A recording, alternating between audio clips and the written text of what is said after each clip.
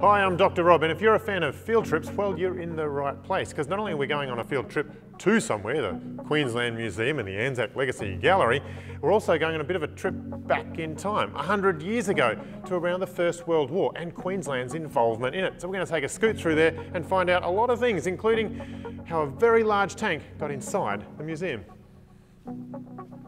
The gallery features more than 400 objects that explore World War I through personal stories and experiences, and more than 90 stories that relate to people, places or events with a Queensland focus. So this gallery is full of lots of artefacts of course, but more than that, it's full of stories because all of these different artifacts, they tell a story. They're part of some one story. It relates to a time and a place. For example, this all relates to James Robinson and, and his story. And he's actually got a really interesting link to the giant tank that I mentioned earlier. Now, I think his story is pretty interesting, but why don't we hear from the curators who put this legacy gallery together and some of their favourite stories. One of the objects that we have on display in the gallery that really resonates with me and that's a really special object is the Victoria Cross or, or VC.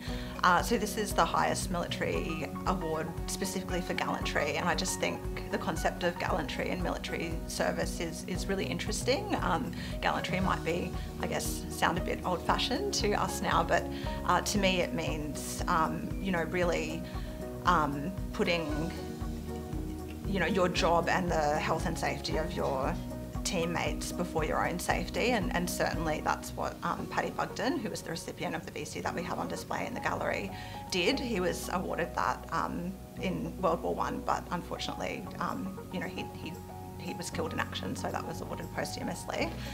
Um, and we also have another VC story in the gallery, uh, which is more recent, and that's of Corporal Dan Keighran, who was awarded the VC a few years ago. So those two stories work really well together, one sort of from World War One and one contemporary.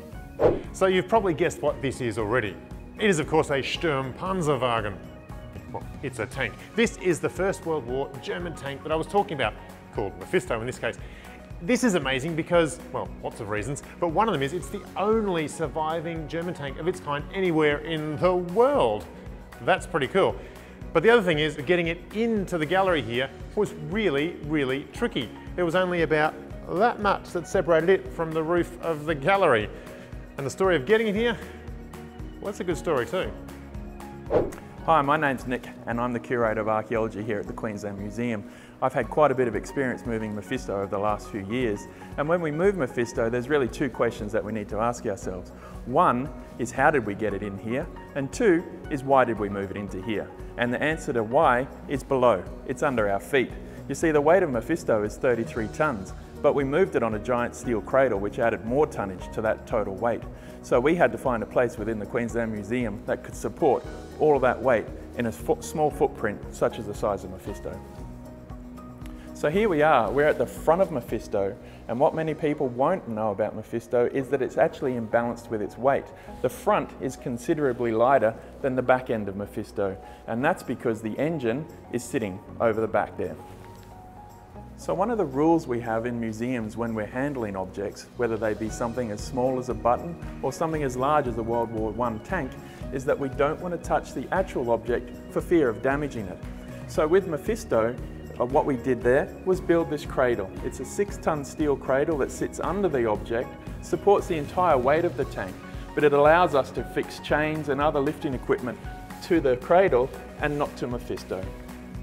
Okay, so now we know the why of where Mephisto's placed, let's talk about the how. So basically, Mephisto was brought in from the street and we bought, had to bring it in through the front of the museum, which meant we had to take all of the glass and everything off the building and then bring it in on these giant rails. And once we got Mephisto to a certain point, we had to straighten the tank and then send it in through behind me. And as you can see, there isn't a lot of space to fit a World War I tank through this little gap. Now, if you can't actually make it into the museum, well, that's not too much of a problem anymore because, of course, we've got technology and the Queensland Museum has launched this amazing app called Anzac Correspondent. And it's an augmented reality app where you can actually play the part of a war correspondent. And so you can go around learning about the stories and the war through this technology on your own device. It's pretty cool. Download it and take a look. The Anzac Correspondent app tells some of the stories that are here in the Anzac Legacy Gallery for all of Queensland. It's an opportunity to be able to explore the stories in a, in a new uh, way with augmented reality. So it was really important to us when we were building this app that it was really fit for purpose for the students who were really going to be using it. So we had a number of points throughout the design process where we checked in and ran user testing sessions with students at a number of different schools in Brisbane so that we were able to get their live feedback on the in-development app. The thing I like best about the app Anzac Correspondent is how easy it is to use and how interesting it is. I also really love the idea of it being able to help kids in remote communities learn about this iconic part of Australian history. So it can be used uh, remotely from the museum and it's really about having them discover the objects in their own time, uh, in their own place. Well, I hope you've enjoyed today's sort of wander around the Anzac Legacy Gallery here. If, of course, you can't get into the museum, well, that's okay. You can always jump online and head to the Queensland Museum website. You'll find lots of really interesting resources on there as well. I'm going to keep looking.